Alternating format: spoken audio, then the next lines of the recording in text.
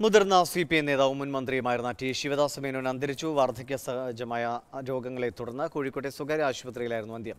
തൊണ്ണൂറ് വയസ്സായിരുന്നു സംസ്കാരം. നാളെ മഞ്ചേരിയിൽ നടക്കും. അധ്യാപക നേതാവ് അവിഭക്ത കമ്മ്യൂണിസ്റ്റ് പാർട്ടി സംഘാടകൻ സി പി എം പാലക്കാട് ജില്ലാ സെക്രട്ടറി സംസ്ഥാന സെക്രട്ടേറിയറ്റ് അംഗം എന്നീ നിലകളിലെല്ലാം അവിസ്മരണീയ പ്രവർത്തനം കാഴ്ചവെച്ച അനുഭവസമ്പന്നനായ നേതാവായിരുന്നു ടി ശിവദാസ മേനോൻ കൂട്ടായ പ്രവർത്തനം വ്യക്തിപരമായ ഉത്തരവാദിത്തം. സദാ കമ്മ്യൂണിസ്റ്റ് പാതയിൽ ചെങ്കൊടിയുയർത്തി ശിവദാസ മേനോൻ. ആയിരത്തി തൊള്ളായിരത്തി എൺപത്തിയേഴ് മുതൽ മൂന്ന് വട്ടം മലമ്പുഴയിൽ നിന്ന് എം എൽ എ. ആയിരത്തി തൊള്ളായിരത്തി എൺപത്തിയേഴിൽ വൈദ്യുതി ഗ്രാമവികസന മന്ത്രിയായി. ആയിരത്തി തൊള്ളായിരത്തി തൊണ്ണൂറ്റിയാറിൽ ധനം എക്സൈസ് വകുപ്പുകളുടെ മന്ത്രിയായി. ട്രഷറി പ്രതിസന്ധികൾക്ക് നടുവിലും ധനകാര്യ വകുപ്പ് അദ്ദേഹം മുന്നോട്ട് നയിച്ചു. പാർട്ടി വിഭാഗീയതകൾ കൊടുമ്പിരിക്കൊണ്ടപ്പോൾ ചുറ്റികാരിവാൾ നക്ഷത്രം മാത്രമായിരുന്നു ശിവദാസ മേനോന്റെ പക്ഷം.